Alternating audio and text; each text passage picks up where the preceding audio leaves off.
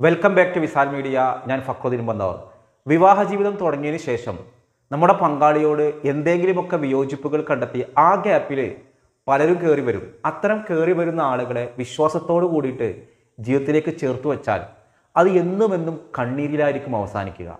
ഇർഫാന എന്ന പേരുള്ള ഒരു യുവതി വളരെ സന്തോഷത്തോടെയാണ് അവർ വിവാഹ ജീവിതത്തിലേക്ക് കടന്നു വന്നത്. ഞാൻ അവരുടെ ഈ പേരൊക്കെ സാങ്കല്പികമാണ് സ്ഥലവും സാങ്കല്പികമാണ് അങ്ങനെ കോഴിക്കോടുള്ള ഇർഫാൻ അവിടെ സന്തോഷത്തോടെ ലൈഫിലേക്ക് കടന്നു വന്നു. ഒരു നല്ല ഗൾഫുകാരന്റെ ഭാര്യയായി. സന്തോഷത്തോടെ ഒന്ന് രണ്ട് വർഷങ്ങളൊക്കെ കഴിഞ്ഞു. കുട്ടികളൊന്നും ഉണ്ടായിട്ടില്ല. അവർ നേരത്തെ പ്ലാൻ ചെയ്തിരുന്നു. നമുക്കൊരു അഞ്ചാറ് വർഷം കഴിഞ്ഞിട്ട് മതി കുഞ്ഞുങ്ങൾ എന്ന രീതിയിലേക്ക് രണ്ടുപേരും സന്തോഷത്തോടെ പ്ലാൻ ചെയ്തു. ഇതിനിടയിലാണ് സ്വാഭാവികമായിട്ടും ഗൾഫിലൊക്കെ പോയപ്പോൾ സ്വാഭാവികമായ ചില പ്രശ്നങ്ങൾ അവർക്കിടയിൽ ഉണ്ടായി മാനസികമായ ചില അകൽച്ചകളൊക്കെ ഉണ്ടായി. എന്തായാലും ഹാപ്പി ആയിട്ട് പോകുന്നു ഇതിനിടയിൽ ഇർഫാനയുടെ അമ്മായിമ്മക്ക് സുഖമില്ലാതായിട്ട് കുറച്ചു കാലം നിരന്തരം ഹോസ്പിറ്റലിലാണ് അവർക്കാണെങ്കിൽ വന്ന് നിൽക്കാനോ ഹോസ്പിറ്റലിൽ കൊണ്ടുപോകാനോ മറ്റ് ആൺതുണകളൊന്നും ഇല്ലാത്തത് കൊണ്ട് ഇർഫാനയാണ് എല്ലാത്തിനും ഉണ്ടായിരുന്നത്.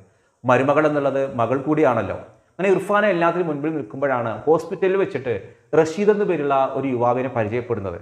സ്വന്തം മതക്കാരനായതുകൊണ്ട് മാത്രമല്ല റഷീദ് കഞ്ഞി മേടിച്ചു കൊണ്ടുവരാനും മരുന്ന് മേടിച്ചു കൊണ്ടുവരാനും ഒക്കെ ഒന്നും അറിയാത്ത ഇർഫാനക്ക് വളരെയധികം സഹായമായി ഹസ്ബൻഡിനോടും കാര്യങ്ങൾ പറഞ്ഞു ഇവിടെ ഒന്നുകൊണ്ടും പേടിക്കാനില്ല. നിങ്ങൾ കാശ് അയച്ചെന്നാൽ മതി. കാര്യങ്ങളൊക്കെ ഞാൻ നിർവഹിച്ചോളാം എന്ന് പറഞ്ഞു.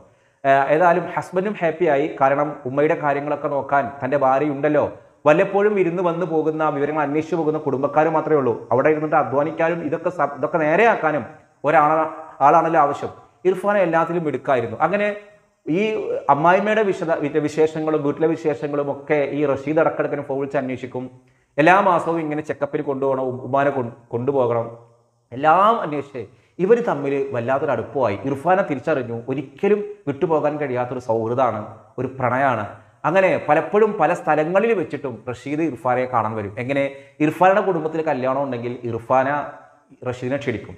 റഷീദ് ഒറ്റയ്ക്ക് വരില്ല. റഷീദ് റഷീദിന്റെ ഒരു ശ്രീജിത്ത് എന്ന് പേരുള്ള സുഹൃത്തിനെയും കൂട്ടി വരും. അങ്ങനെ ഈ സുഹൃത്തിനെയും ഇർഫാനക്ക് പരിചയം. അപ്പോൾ അവിടെ വെച്ചിട്ട് കല്യാണത്തിൽ വെച്ചിട്ട് ഒരുപാട് പേരുണ്ടാവുമല്ലോ. ചോറ് വയ്ക്കുമ്പോഴൊക്കെ സംസാരിക്കുന്നു. അതുപോലെ മാളിൽ പോകുമ്പോൾ പാർക്കിൽ പോകുമ്പോൾ ഇങ്ങനെ എവിടെ നിന്നൊക്കെ കാണാൻ കഴിയാവുന്ന സന്ദർഭങ്ങളുണ്ട്? അവിടെയൊക്കെ ഇർഫാന സന്ദർഭങ്ങളുണ്ടാക്കി കാണാനുള്ള അവസരങ്ങൾ പക്ഷേ ഒന്ന് ഒതി ഒതുങ്ങിയിരുന്നിട്ട് ഒരു ഭാഗത്ത് ഇരുന്ന് സംസാരിക്കാനോ സ്നേഹം പങ്കിടാനോ റൊമാൻസ് പങ്കിടാനൊന്നും ഇർഫാനക്ക് സാ അവസരങ്ങൾ ഉണ്ടായില്ല ഇർഫാനെ സ്വയം മറന്നു. ഞാനൊരുത്തന്റെ ഭാര്യയാണ്.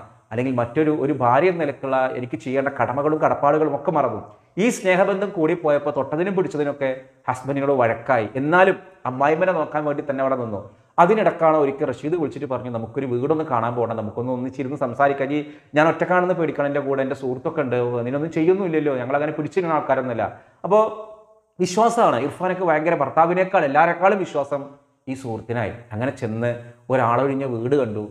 ആ ആളൊഴിഞ്ഞ വീട്ടിൽ എല്ലാ സൗകര്യങ്ങളും ഉണ്ട്. അന്ന് അവിടെ നിന്ന് സംസാരിച്ചപ്പോൾ പിന്നെ ഇപ്പോൾ ഒരു അവസരമാണല്ലോ. എല്ലാവിധ ബന്ധങ്ങളും നടന്നു. ഈ റഷീദുമായിട്ട് ബന്ധങ്ങൾ മറ്റവും പറഞ്ഞു ഞാനും നമ്മളും ഒഴിവാക്കാം. അപ്പോൾ സത്യം പറഞ്ഞാൽ ഈ റഷീദ് എന്ന പേരുള്ള സ്നേഹം നടിച്ചിട്ട് തന്റെ ശാരീരികാവശ്യങ്ങളൊക്കെ നിർവഹിച്ചു കഴിഞ്ഞപ്പോൾ പിന്നെ സുഹൃത്തിനും വേണം. അവൾ ഇനിയും ഓൾക്കും കൊടുത്താളെ എന്നുള്ള രീതിയിലേക്കാണ്. നിസ്സഹായായി ഈ പെൺകുട്ടി.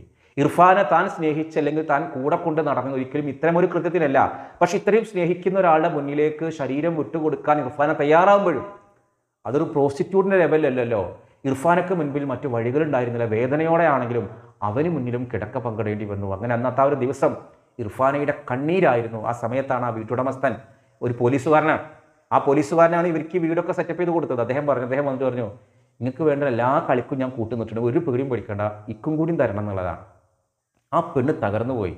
റഷീദിന്റെ മുഖത്ത് നോക്കിയിട്ട് പറഞ്ഞു എന്താണ്? എന്നോട് ഇങ്ങനെയൊക്കെ വരുമ്പോൾ നീ പ്രശ്നമില്ലല്ലോ. ഇതിപ്പോൾ തേഞ്ഞു പോണ സാധനമൊന്നും അല്ലല്ലോ. അങ്ങനെ റഷീദും ആ മറ്റോനും ഒക്കെ നിർബന്ധിപ്പിച്ചു. അവൾക്ക് മറ്റു മാർഗങ്ങളില്ലാതായി. ഒരു ഒരു സ്ത്രീയുടെ ശരീരം സ്നേഹത്തോടെ അല്ലാതെ അവൾ അനുമതിയോടെ അല്ലാതെ തൊടുന്നതൊക്കെ അതൊക്കെ റേപ്പിന്റെ പരിധിയിൽ പെടുന്നതാണ്. ഏതായാലും ഇവൾക്കൊന്ന് മനസ്സിലായി. തന്റെ ഭർത്താവിന് എന്തൊക്കെ കുറവുകളും കുഴപ്പങ്ങളും ഉണ്ടായാലും വിശ്വസിക്കാൻ കൊള്ളുന്ന ഒരാളായിരുന്നു. മറ്റൊരു സ്ത്രീകളുടെ മുഖത്ത് നോക്കാത്ത ഒരാളാണ്.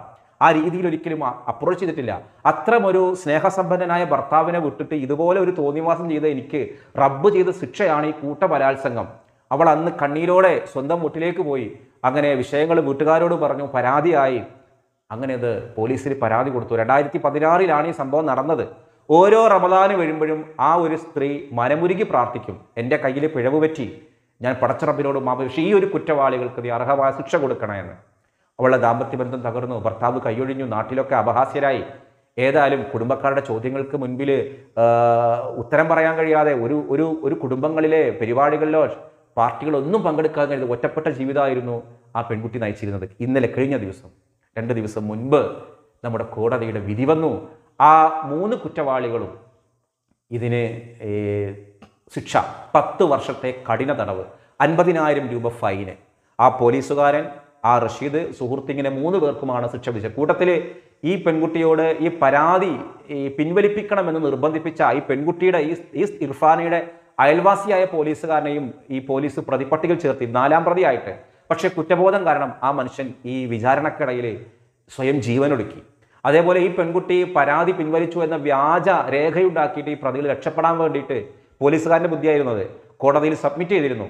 അങ്ങനെ കോടതി അത് അതിന്റെ വിശദാംശങ്ങൾ ആവശ്യപ്പെട്ടപ്പോൾ ഈ സ്ത്രീ പറഞ്ഞു ഞാൻ ഒരു പരാതിയും പിൻവലിച്ചിട്ടില്ല. എന്റെ മാനം തകർന്നു. ഒരുത്തനെ വിശ്വസിച്ചതാണ് എനിക്ക് പറ്റിയ പിഴവ്. അതുകൊണ്ട് തന്നെ ഞാൻ പരാതി പിൻവലിച്ചിട്ടില്ല. ശക്തമായ ശിക്ഷ ഉണ്ടാവണം എന്ന രീതിയിൽ എഴുതി കൊടുത്തു.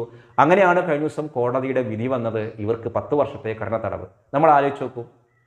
നമ്മുടെ പങ്കാളികളുമായിട്ടൊക്കെ എന്തെങ്കിലും പ്രശ്നങ്ങൾ ഉണ്ടാകുമ്പോൾ ആ ഗ്യാപ്പിൽ ഗോൾ അടിക്കാൻ നൂറായിരം ആൾക്കാർ കളിക്കാരുണ്ടാവും പുറത്തുണ്ടാവും.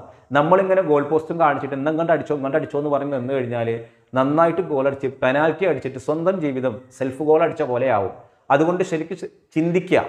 നമ്മളൊരു ഒരു ഭാര്യ എന്ന നിലയ്ക്ക് ചില അവകാശങ്ങൾ ഭർത്താവായാലും ഭാര്യ ആയാലും ചില ഭർത്താക്കന്മാർ അങ്ങനെയാണ് ഭാര്യ ഉണ്ടായിരിക്കെ ഒരുപാട് അഫെയറുകളായിട്ട് നടക്കുക സൊസൈറ്റി പോലും അത്തരം ആളുകളെ സംരക്ഷിക്കുന്ന നടപടി കാണാം ഭാര്യ എങ്ങാനും വേറൊരു അഫെയറിലേക്ക് പോയാൽ പിന്നെ അതൊരു വലിയ സാമൂഹ്യ ദുരന്തമായി നമ്പർ വൺ ക്രൈമായിട്ട് മാറും. എന്താണെങ്കിലും ഈ ഈ മാരിറ്റൽ അഫെയർ എന്ന് പറയുന്ന വിവാഹേതര ബന്ധങ്ങൾ അതൊരിക്കൽ പോലും നമുക്ക് സന്തോഷങ്ങൾ ഉണ്ടായിത്തരില്ല. നമ്മളോട് സ്നേഹം നടിക്കുന്ന പഞ്ചാര വർത്തമാനങ്ങൾ മാത്രമേ ഉണ്ടാവുള്ളൂ. നമ്മുടെ ഭർത്താവും നമ്മുടെ പങ്കാളിയും തരാത്തൊരു സ്നേഹം തരുന്നുണ്ടെങ്കിൽ അതിന്റെ പിന്നിൽ ലക്ഷ്യം നമ്മുടെ ശരീരമാണ് എന്ന് എന്നാണ് ഒരു സ്ത്രീ തിരിച്ചറിയുന്നത്? അന്നേ ഇവർ നന്നാവും. എത്ര ദുരനുഭവങ്ങൾ നമ്മുടെ മുന്നിലുണ്ടെങ്കിലും പിന്നെയും ഈ സ്ത്രീ കരുതും ഇതൊക്കെ മാത്രമുള്ളതാണെന്ന്. എല്ലാവരോടും ഇങ്ങനെ തന്നെ പറയണത്.